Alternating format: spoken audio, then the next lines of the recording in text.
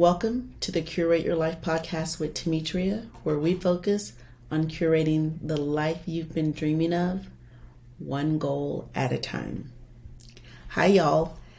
Okay, so this may be a short episode, but I wanted to come and talk about my second annual retreat of the heart. So I don't know if you remember last year, it was in June, but I had my first annual retreat of the heart.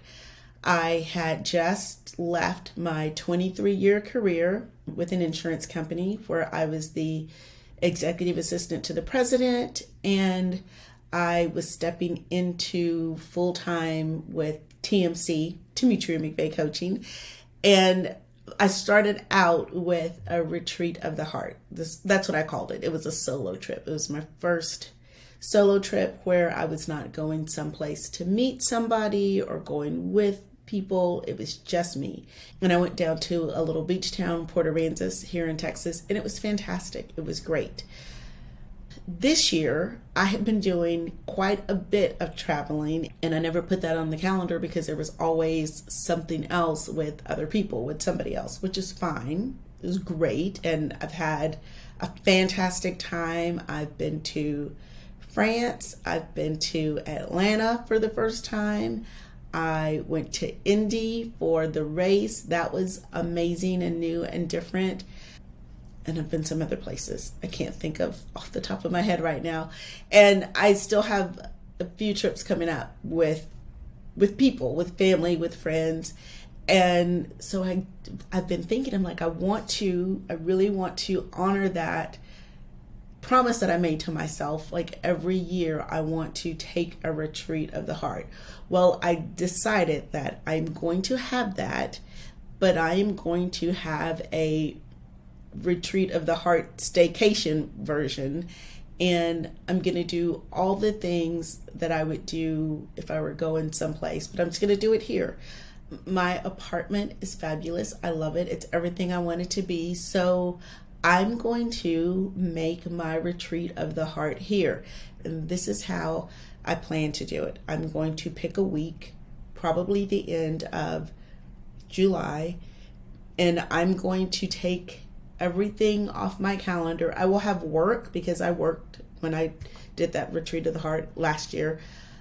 I'm going to have work, but it's just going to be me and my brain and work when I need to work, and quiet time. I'm not going to have outside appointments. I'm not going to have dinners with anybody. It's just going to be a few days of just me, tea time.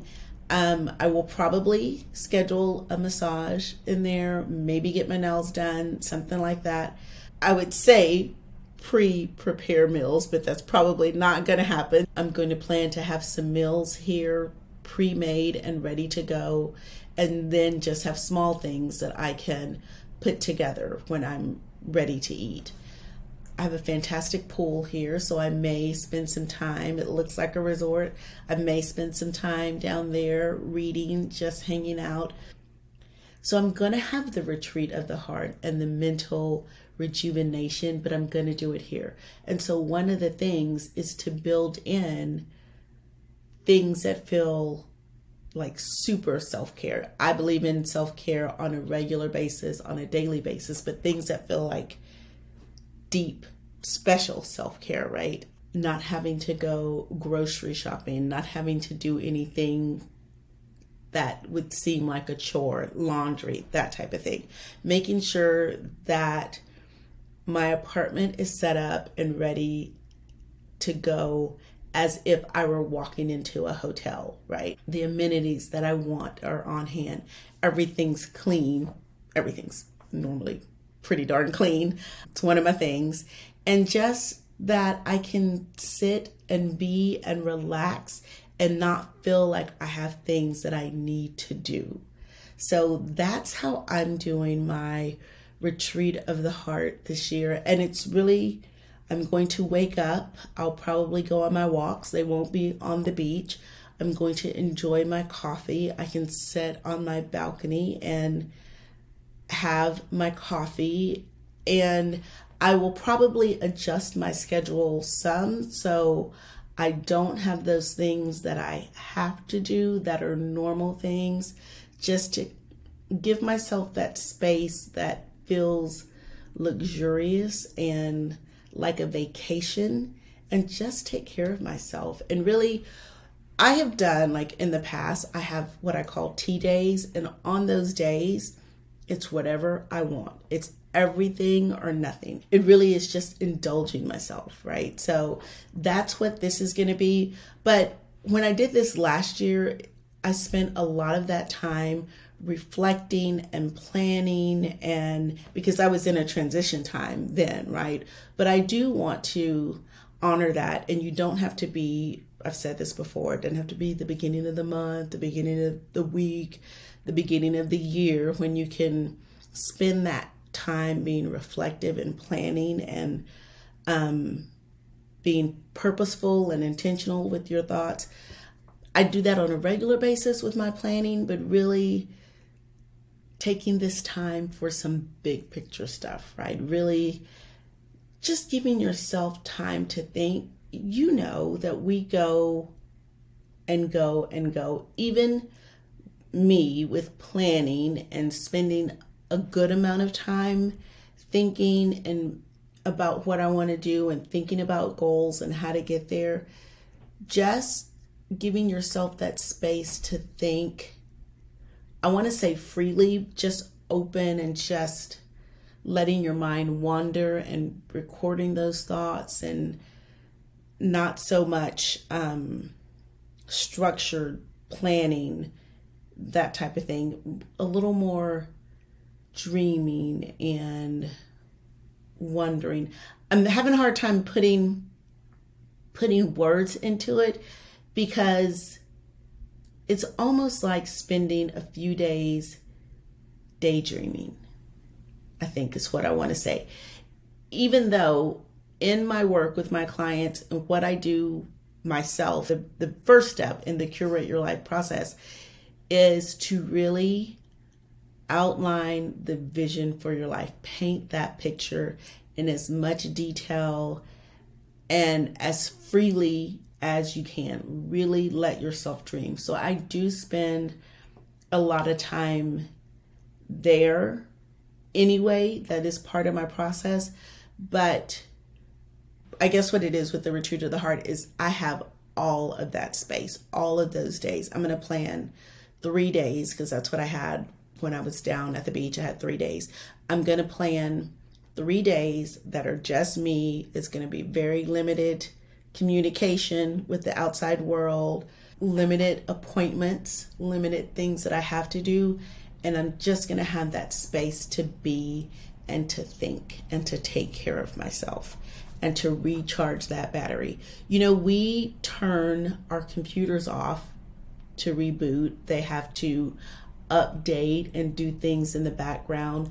And that's what this retreat of the heart is. It's time for me to reboot, to update things, just to let things process in the background. And I encourage you to find, if you can't find three days, if you can't go anywhere, I'm not going anywhere this year, just find some time just to be with you, just to be with yourself, just to listen to what's going on in your head. We have, I've told you this before, over 60,000 thoughts a day, they say.